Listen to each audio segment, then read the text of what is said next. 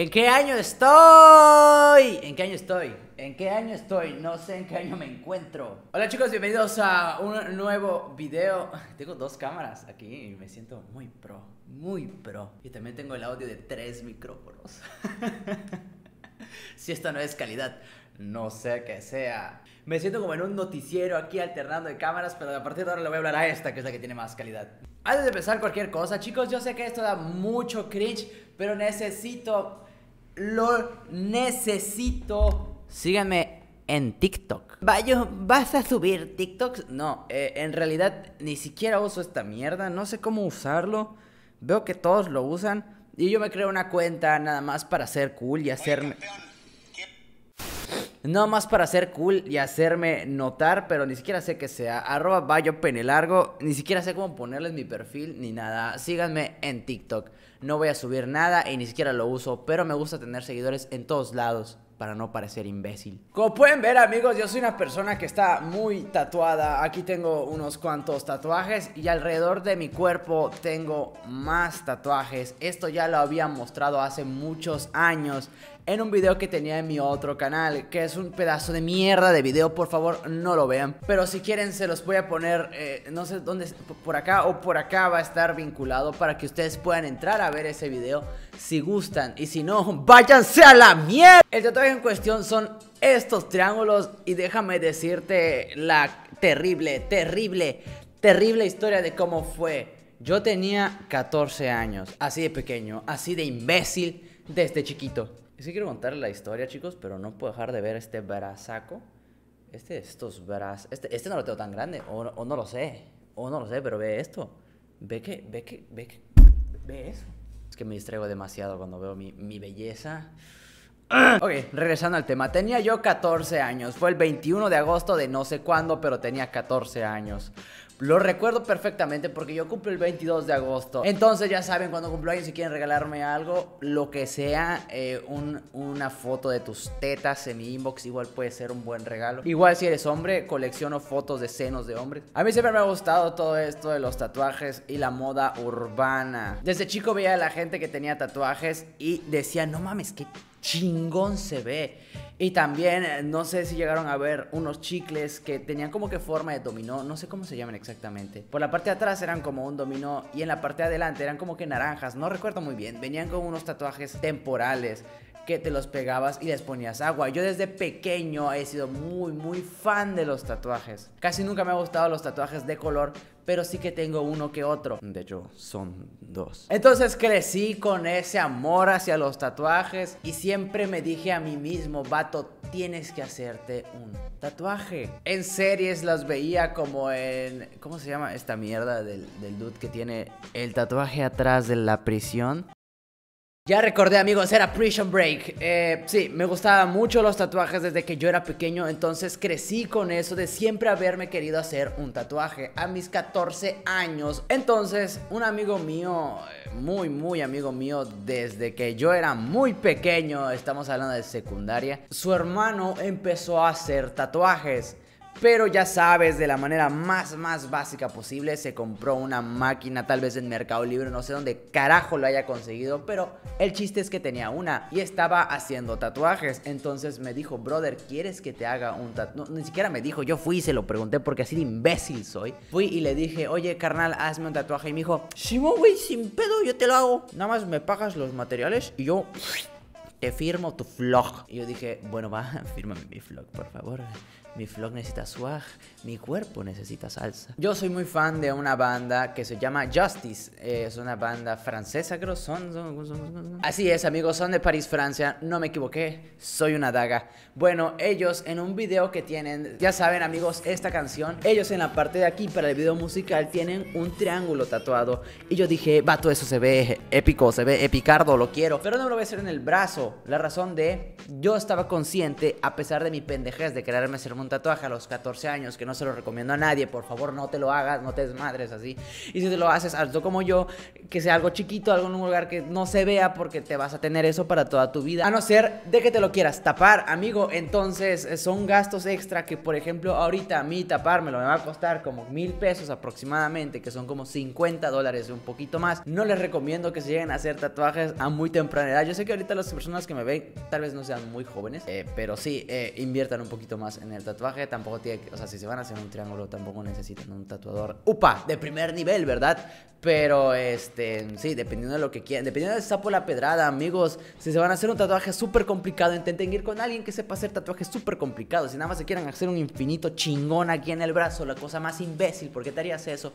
Pero aún así te lo quieres hacer. No hay pedo, ve con un cabrón que lo sepa hacer. No necesitas una leyenda de las tintas con sus máquinas millonarias para poder hacerte ese tatuaje. No sé si me explico, ¿sabes? Entonces, brother, yo fui y le dije, hey, hazme un tatuaje. Y él me dijo, va, solamente te voy a cobrar los materiales. Porque sabía que era una puta mierda y tenía que aprender de algo.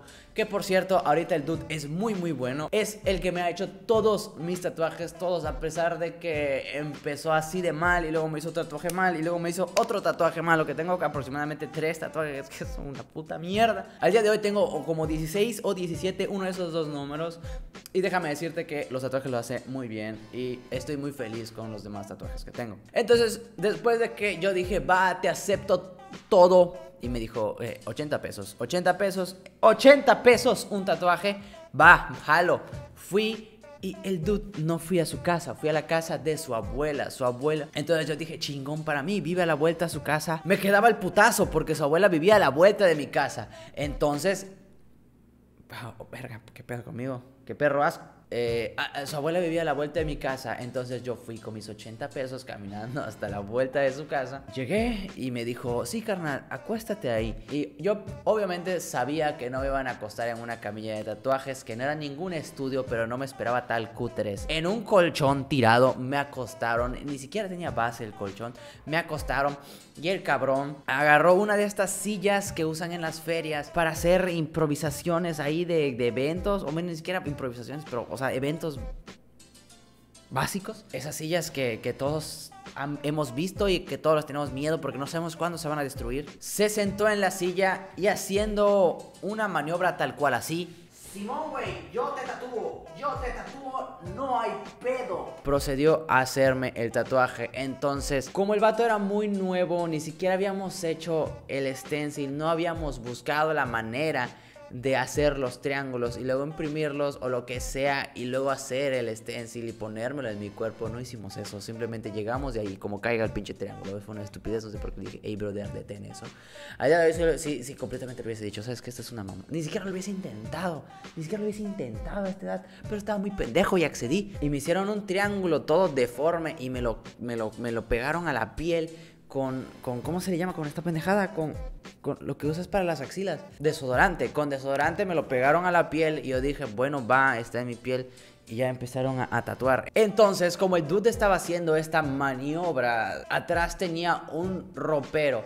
Y en el ropero se le refractaba completamente, se le, se le espejaba, por decirlo de una manera completamente la raya del culo y me empecé a cagar de risa. Es que no podía, no podía contenerme y me moví un poco y se movió el tatuaje, pero no fue por eso que se ve así, simplemente la técnica fue una puta mierda, fue una estupidez. Y así tuve el tatuaje. Terminaron de tatuarme, Víctor grabó el tatuaje, voy a intentar buscar los videos y si los están viendo es que los encontré, si no pues no encontré una mierda de cómo me estaban tatuando. Cállate gato mierda, verga, chinga tu puta madre. El punto es que me terminaron el tatuaje y pues cuando está nuevecillo no lo notas, pero se ve muy negro, se veía bonito. O sea, eh, llegué a mi casa y los vi y dije, oye, esto no se ve mal, no se ve nada mal. Eh, se veía mal, se veía mal. Al día de hoy lo vería y diga, diría, no, hijo, ¿por qué hiciste esto? O sea, ¿por, qué? O sea, yo tengo que llegar a regresar al pasado y decirle, hijo, ¿por qué? Te... Aunque pensándolo bien, es como una inversión a largo plazo porque este tú, después de haberme hecho todo esto y saber que yo confío en él desde el inicio, me da unos precios bastante buenos al momento de hacerme tatuajes y por eso tengo demasiados tatuajes. Pero ahí estaba yo, un niño de 15 años, porque ya había cumplido los 15, al día siguiente se cumplían los 15. Un niño de 15 años, en ese momento tenía una novia Y llegué y le dije, mira, y como que a lo mejor se dio cuenta que era una mierda. Eh, se dio cuenta, se dio cuenta completamente que era una mierda. Pero no me dijo nada, no me dijo nada, solamente me dijo, ah, órale, están chidos eso. Eh, no sé, debió haberme dicho la verdad. Tal vez no de esa manera, hubiese dicho, hijo, igual y no debiste haber hecho eso. Y no hubiese presumido tanto, ni siquiera que los presumía. Pero tenía mis tatuajes, o sea, un niño de 15 años teniendo tatuajes. A, a veces hasta me levantaba la playera tantito para mostrarlos, pero no... No, nunca me gustó tanto hacer eso. Nunca había hecho tatuajes, nunca he tenido tatuajes visibles. Nada más estos están acá. Y tengo 16 tatuajes, ¿sabes? Fácilmente ya podría haber terminado mis dos brazos de tatuarlos si hubiese hecho todo en mis brazos y tal vez me sobraría tinta para cubrirme, no sé, el pecho o lo que sea. Lo que más recuerdo de ese tatuaje, eh, más que el tatuaje, era de la raya del tatuador. Era una raya muy prominente, muy peludo ese culo, muy peludo ese culo. Pues chicos, mi consejo, y siempre les voy a dar este consejo, busquen un buen tatuador, no, o sea, dependiendo del sapo, la pedrada, amigos, si se van a hacer el nombre de su vieja, que les recomiendo que no lo hagan, no necesitan pagar mil varos por ese. Obviamente, pues depende del tamaño, ¿no? Necesitan pagar mil varos por ese tatuaje. Busquen algo más modestón, alguien que sepa hacerlo y vean sus trabajos. Vean si ya, pues si quieren tatuar un nombre, vean que ya haya tatuado nombres antes y no les salga de la chingada. Y ya está, es suficiente con eso. No tienen que pagar tanto por un estudio. Ahora, si se van a hacer algo muy cabrón, intenten que sea con un cabrón que sea de primer nivel. Y pues nada, amigos, eh, espero les haya gustado este video. Si es el primer video mío que ves, suscríbete, que lo dudo, que lo dudo completamente, pero si es el primer video que ves, suscríbete. Mis redes sociales van a estar en la parte de abajo. Recuerda darme un like y coméntame qué quieres ver en el siguiente video. Tengo unas ideas aquí en mi celular de cosas que quiero grabar, pero no lo he hecho porque soy imbécil, ¿va? Pero dame más ideas, no está mal. Un beso. Bye.